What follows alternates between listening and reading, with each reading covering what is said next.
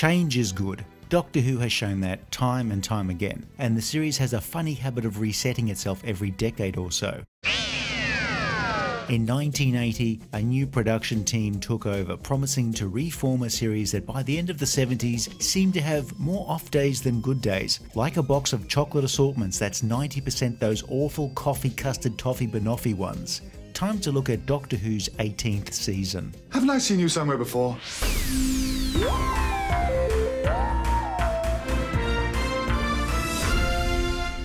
The previous season of Doctor Who, the 17th, was a story of ups and downs. The highest ever ratings achieved by the series, and it gave us a bona fide classic in City of Death. But then there were also the lows of having a story cancelled halfway through production due to a strike. Producer Graham Williams and script editor Douglas Adams, yes, that one, both got into their escape capsules and headed for the safety of anywhere but here. The BBC offered the producer role to John Nathan Turner, which was unusual in that he was neither a writer nor a director, nor had he ever been a producer. But Nathan Turner had been working on the show for the previous three seasons as the production unit manager, a multifaceted role where he had managed to juggle the budgets just enough for the show to manage a short foreign location shoot for City of Death. Now clutching the keys to the production office and full of ambition, John Nathan Turner had thought, hmm, yes, it's gotten very silly. As Nathan Turner, often referred to as JNT, was a new producer, the BBC brought in former producer Barry Letts as an executive producer to guide the rookie showrunner. Like JNT, Barry Letts had thought, yes, it's gotten very silly. They brought in a new script editor, Christopher Bidmead, and together the three of them agreed, yes, it's gotten very silly. The one person who wasn't saying, yes, it's gotten very silly, was Tom Baker, who would be playing the Doctor for an unprecedented seventh season. And there were large numbers of the show's younger viewership for whom he was the only Doctor Who that they knew of. The new team made wholesale changes. Nathan Turner wanted a tight grip on the show, and so no directors who had previously worked on the series were asked back possibly because they had generally not done enough to rein in Tom Baker's worst excesses. And with very few exceptions, writers who had previously scripted episodes were generally not likely to get a callback. Change started from the very first frame of the season. The title sequence would be updated, with the Doctor's face forming from the stars, and there was a new logo, inspired by neon signage. The show's most prolific composer, Dudley Simpson, had by 1980 pretty much scored the show's incidental music for years. But as part of the new broom, the BBC Radiophonic Workshop would now create all of the show's incidental music, as well as the custom sound effects, and they would also take a crack at updating the theme music. For 17 seasons, the same recordings of the Doctor Who theme made in 1963 were used and edited again and again. Composer Ron Grainer had written a standard tune, but it was Delia Derbyshire and the BBC Radiophonic Workshop who brought it to life. Individual tones were recorded and spliced together on tape reels and mixed together. It sounded unlike anything else, which is why it lasted as long as it had. But 17 years is 17 years, and when your theme tune is almost old enough to vote, a bit of an update is probably not a bad idea. Workshop composer Peter Howell volunteered for the task, mindful of an abortive attempt to update the theme in the early 70s. This is the theme as it was released on vinyl by the BBC. Here's the theme as it appeared on television. And here's how it sounds on my car with busted speakers. It's got a driving beat without any percussion and became an iconic part of the series for fans in the early 80s. I even remember going to a town show as a kid, and this version was played over the PA system during the nightly fireworks display, along with music from Star Wars and E.T. While Nathan Turner took Dudley Simpson to lunch to give him the bad news, he couldn't yet do the same to K9, since A, K9 was a prop, B. didn't eat anyway, and C. was armed and dangerous with a body count only eclipsed by that other killer robot, Twiki. Nathan Turner, Bidmead, and Letts all disliked K9 conceptually, and his presence on the TARDIS did make them all agree yes, it's gotten very silly. K9 was a dramatic get out of jail free car, and the trio wanted him written out of the series as soon as possible. But by now, the BBC had sunk in so much money into improvements for the radio controlled K9 prop that he had to be kept around at least for the time being.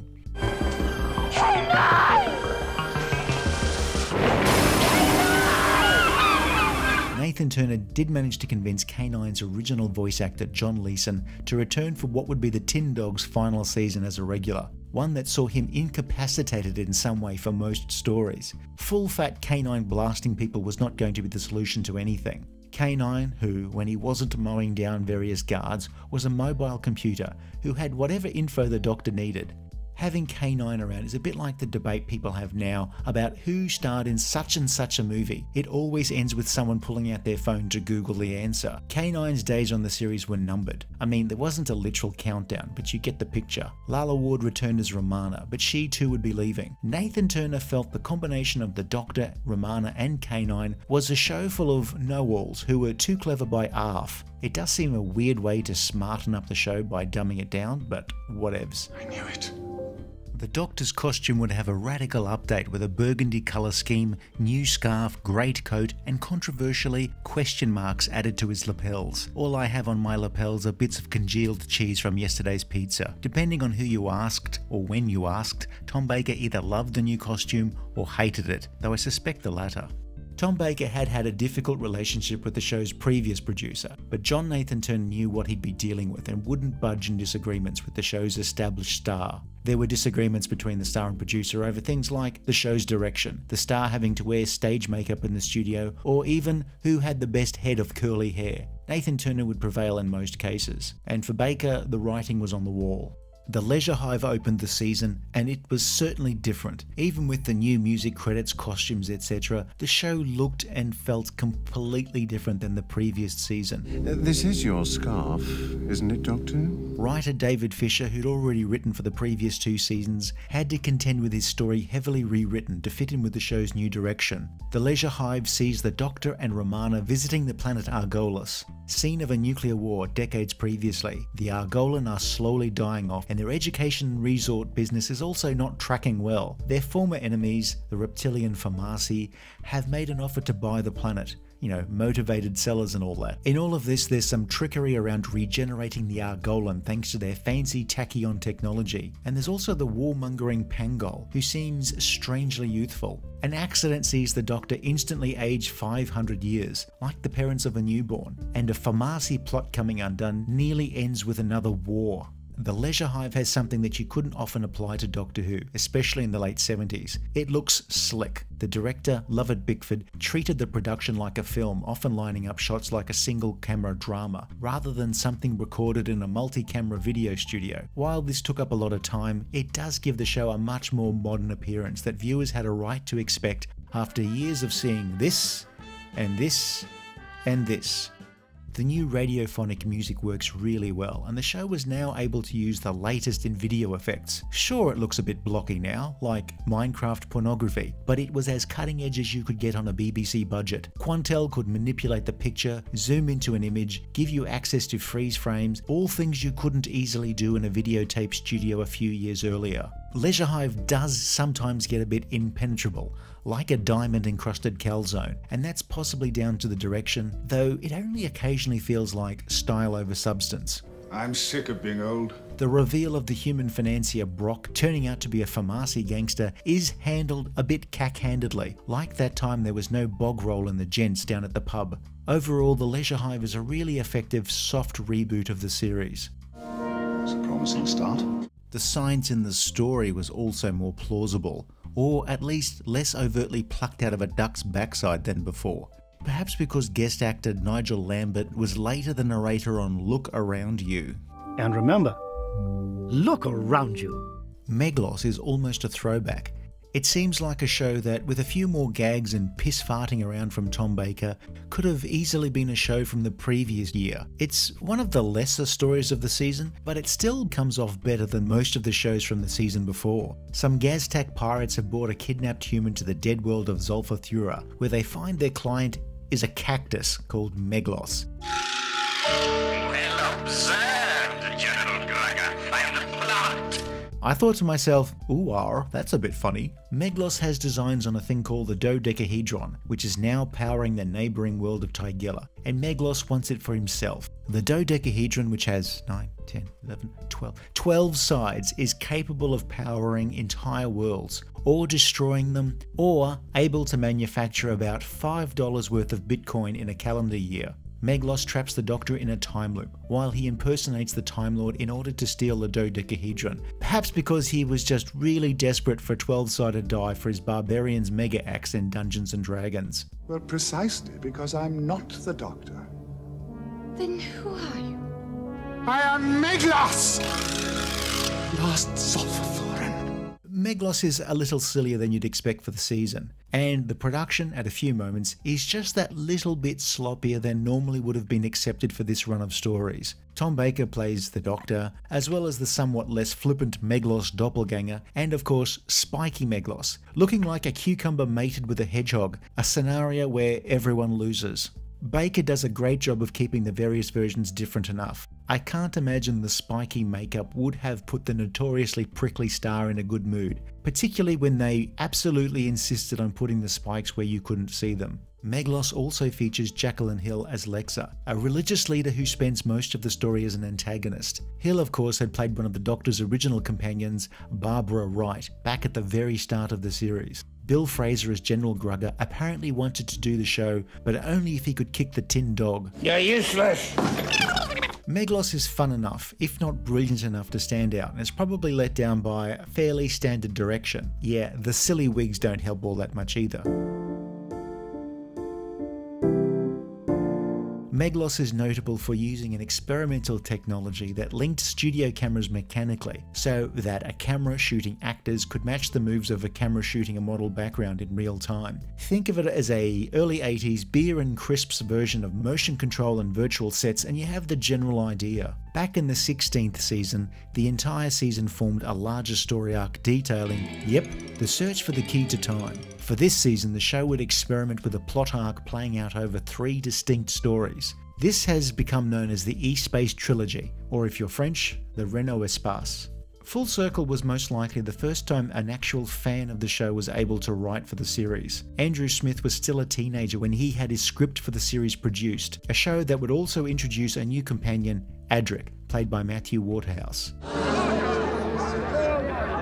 There is no need to be alarmed also someone who'd identified as a fan. We'll talk more about Adric in a moment. Having been recalled to Gallifrey, Romana is deeply unhappy with the prospect of returning home, possibly because she has all of those unpaid parking tickets. En route, the TARDIS is accidentally transported through a vent into another universe, later identified as E-Space. You mean to tell me that after all we've been through, the systems are functioning perfectly? No, not perfectly, Master. Adverb attributed was normally the planet Alzarius is about to go through a climate cycle known as mistfall, where the air is unbreathable for several years, like Los Angeles, but at least on Alzarius it's only temporary. The Alzarians retreat to their crashed starliner, which they maintain and repair as the Alzarians make preparations to leave Alzarius and return to their own planet. Eventually. There are some outlaws, including Adric's older brother, who seems overly burdened with more charisma and acting ability. Romana gets infected by some spiders who come out of the local produce, and yeah, I think I'm done with watermelon for good. The Alzarians are led by the Three Deciders, wise elders who are supposedly responsible for the well being of the community, but whose mission seems to be perpetual procrastination which sounds like the name of a death metal band I might form one day, you know, sometime in the future. Uh, once I get past this hump at work and finish building the fence, and once I've bought all the equipment I need. Thanks to the manuals that have been passed down, we could take the Starliner apart and put it together again perfectly. Though there is one thing we can't do, Doctor. Nobody knows how to pilot this ship. What a twist. Full Circle is a story that holds up pretty decently, and the production does the job nicely. It's not perfect by any means, but it's really quite solid. The Alzarians are different in that they were very 80s looking without being too 80s looking. The Marshmen do look a little like the creature from the Black Lagoon, but that's leaps and bounds better than the Mirror Universe Wombles from last season. Oh, and the story has Inspector Wexford. It's also the first time in a very long time that we've actually seen something approaching crew quarters in the TARDIS. You can't fight Time Lords, Romana. You did. Once. Hmm. And lost. Romana's room is decorated with souvenirs from her travels with the Doctor, and her sulking in her room is probably the most angst a companion has displayed in a very long time. Adric is last seen in the TARDIS, unbeknownst to the Doctor and Romana, but we'll learn in the next story that he stowed away. Adric was the first new companion of the 1980s, and was one of the most derided for a very long time. Adric is meant to be smart, with his badge for mathematical excellence. Well, of course I'm better than you. I'm an elite. And that's where his character description ended. He was originally meant to be a bit of a scamp, but casting and a lack of interest by writers meant we really didn't get much of anything from the character.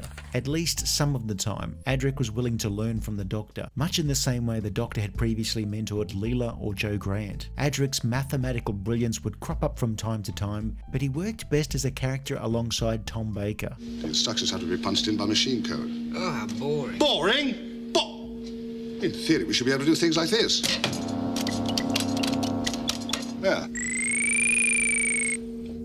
Matthew Waterhouse was a relatively inexperienced actor with some TV under his belt, but there are almost two Adrics in the show. The character in this season, who's willing to work with the Doctor, and the imbecilic buffoon of the following year, but more on that later. Waterhouse and Baker seem a good team, even though he's often playing third or even fourth fiddle to other companions and guest stars. Mind you, they did say I had a very sophisticated prose style. As for your handwriting, Handwriting? What about my handwriting? it's marvelous. If you need anything, there are guards outside the door. Many guards. State of Decay was generally derided by fans for many years, mainly because of its less than amazing effects shots, but when you look at it now, it's actually quite good for the most part. The Doctor and Romana find themselves on a backward planet where nothing has changed for a very long time. No, not Norfolk. I've never seen such a state of decay. Be careful, Doctor. We have acquired great powers. A spaceship landed here long ago, and apparently descendants of the flight crew have become the three who rule. There's a giant vampire waiting to return, and, and there are legends of Time Lords fighting a race of vampires and hunting them down with bow ships, Swift vessels that fired a mighty bolt of steel that transfixed the monsters through the heart. which sounds really cool as long as you don't end up with the one where the manufacturer got the wrong idea. It's a gothic horror, heavily inspired by Hammer Films, from a time when the series wasn't doing that sort of thing at all. Of course, there's a reason why it seems a bit out of place. As the season was being prepared, the script cupboard was pretty bare, and a script that Terrance Dicks had originally been commissioned to write to introduce the 15th season had been resurrected, rewritten, and put into production as State of Decay. It's the fourth story of the season, but was second in production, which may explain why Matthew Waterhouse's performance is far, far worse than his introductory story. Adric here looks and moves like Hervé Villechaize from Fantasy Island, but scaled up slightly in Photoshop. His acting, let's be nice and say, hints at a level of inexperience that perhaps wasn't considered as much as it should have been during the casting of a regular character. Unless you aid us, we shall all be killed. Then die. That is the purpose of God. The worst effect of the season, other than Adric, in a season where, Adric aside, the effects work had generally improved leaps and bounds over previous years, is either when the scout ship is launched and programmed to come down and kill the giant vampire, or the giant vampire itself, which is either a doll or a glove. Yeesh. It sometimes only takes one shot like this to undo a whole story. The three who rule are suitably creepy for the most part, building up to performances that are a little large. But then, when you go up against Waterhouse in a scene, you better bring your A game. Because, you know, someone should. Though I'm still getting a bit of a what we do in the shadows vibe. State of Decay is a chance for Doctor Who to give dialogue to longtime stunt performer Stuart Fell, a man with the fourth best name for a stuntman after Bob Burns, Jason Crash, and Andy Turtz. Warrior's Gate is a weird story to close out the E-Space trilogy. Steve Gallagher's story is ambitious in terms of hoping the audience will understand what's going on. Tharils, formerly less than benevolent rulers, are now enslaved due to their time sensitive abilities and as such prized by the slavers since they can somehow navigate timelines. The Doctor and Romana find themselves stuck in a void that may be the way out of E-Space. The slavers, led by Rorvik, are a mismatched lot. Technical term, idiots. Rorvik is played by Clifford Rose, at the time best known as playing the icy Nazi Kessler in Secret Army. This is the end for all of you. I'm finally getting something done. and there's also Kenneth Cope from Randall and Hopkirk Deceased. Microcosm universe system unbalanced and contracting.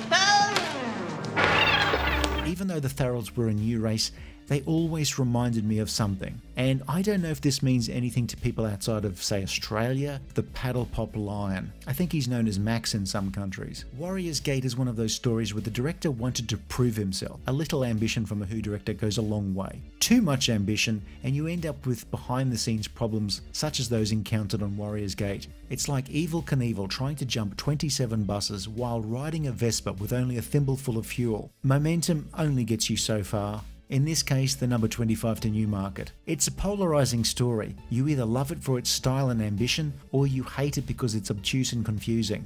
People walking through mirrors, people chroma keyed on black and white photographs, people walking around an off white void. The story can be rewarding or maddening, like getting the Incredible Hulk to change a watch battery. Oh, Hulk fit. No thanks, Hulk, it's still under warranty. No more orders, Doctor. Goodbye. What? Well, what a moment to choose! I've got to be my own Romana. Romana and K9 both exit the series here. You were the noblest Romana of them all! Unlike the last few times a regular has left the show, Romana makes some very vague references to Adric about not being with the Doctor forever, and of course, You know I don't want to get back to Gallifrey. which is her fate if they ever return to normal space, where she also has to deal with those outstanding arrest warrants over the shoplifting offences. K9 is damaged by the time winds and can only be restored by staying behind. If you've just had a chill run down your spine at the possibility of Adric being the only companion, don't worry just yet. Will you listen to me when I'm talking? This is very serious. The Keeper of Traken sees the Doctor and Adric asked by the Keeper of. Ah, Keeper of. It's on the tip of my tongue. I'm sure it'll come back to me later. Anyway, Traken's a pretty chill place, like Sweden in the summer, but without the huge death toll. Evil just shrivels up and dies, which is quite an achievement. And so when a malevolent statue, the Melkur, lands on Traken, it just becomes a fancy garden ornament. Really, it's just biding its time while it tightens its hold over Consul Kassia. Her husband Tremas has been selected to become the next keeper of... keeper of... anyway, but the Melkur has other plans.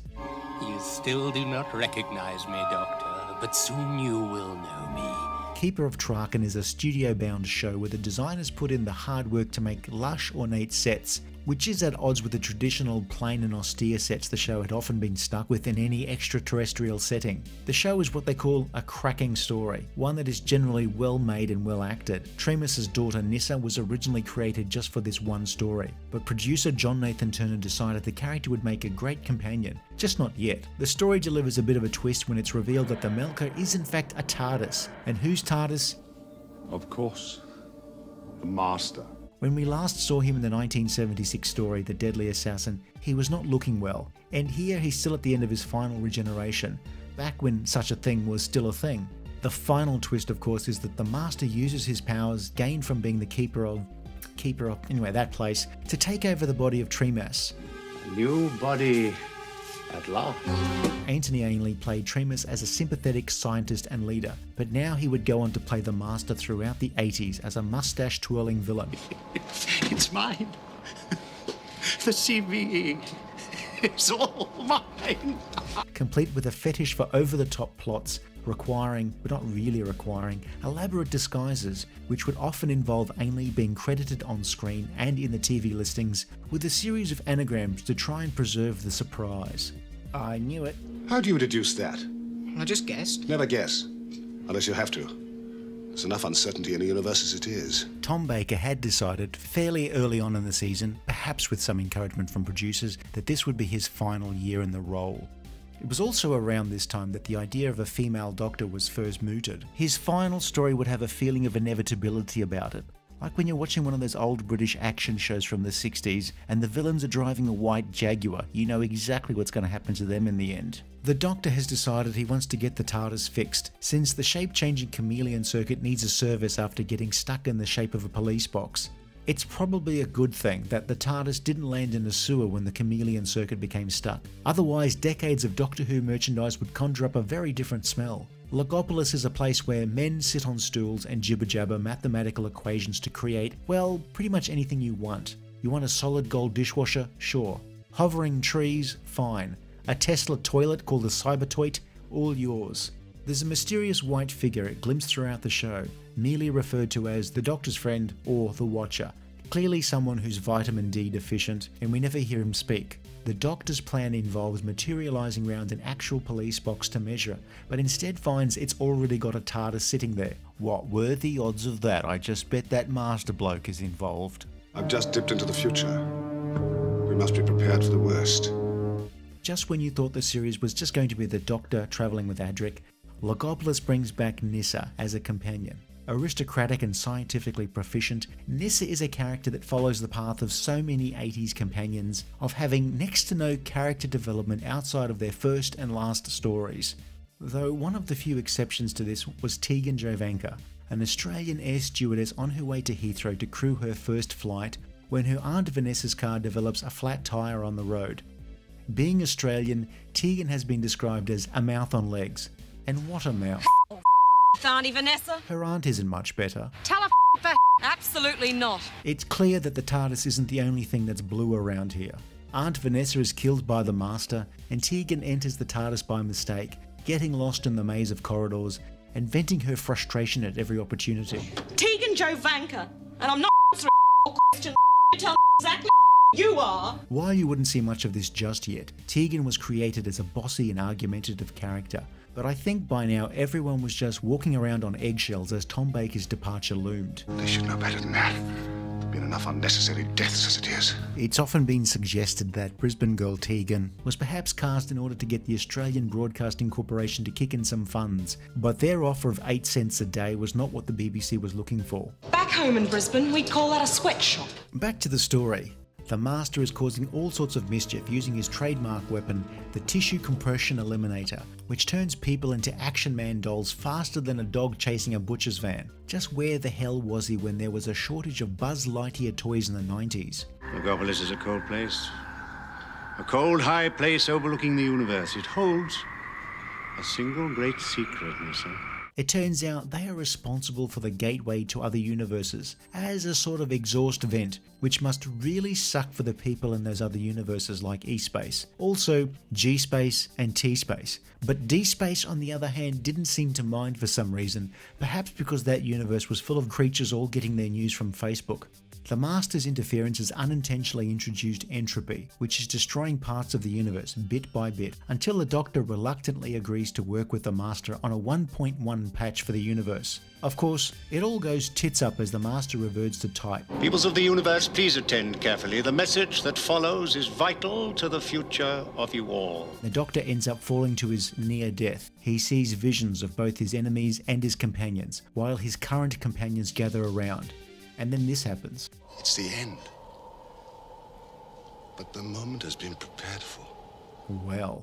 So he was the doctor all the time. There's quite a body count among companions' relatives, like a Thanksgiving fantasy gone wrong. Adric loses his brother, Tegan loses her aunt. I'm so sorry to you. I'm so sorry. And Nyssa loses first her stepmom, her father, her home planet, whose name escapes me, and then her entire solar system. I can't see Traken. Traken, Traken, that was it, Traken. Oh, oops, too soon. Script editor Christopher Bidmead wrote the script for Logopolis. It's a suitable send off for Tom Baker and is full of Bidmead's obsessions, attention to detail, and trying to get the science to sound, if not accurate, at least plausibly accurate. I demand to see who's ever in charge of this shit. Logopolis isn't necessarily a beloved story, with some of its obvious painted backdrops and Anthony Ainley chewing the polystyrene sets as if they were made of honey roasted ham. But it is a personal favourite of mine, from a season that isn't necessarily beloved, but again is a personal favourite of mine, like Vegemite toast and a cup of Yorkshire tea on a cold day. The season is one that's consistent and intelligent. Materialize the TARDIS underwater and open the door. Or at least makes a credible attempt at appearing intelligent, like Forrest Gump wearing spectacles. That's the end of the 18th season, one of the lowest rated seasons ever. But there was just a little bit more Doctor Who for that year. K9 may have been written out of the series, but the blow for K9's many young fans was softened by K9 and Company. Sarah Jane Smith moves to her aunt's country home, meets her aunt's ward, Brendan, who is soon kidnapped either by witchcraft devotees or altruistic drama critics, and she finds a gift left for her by an old friend. Give Sarah Jane Smith my fondest love. Tell her I shall remember her always.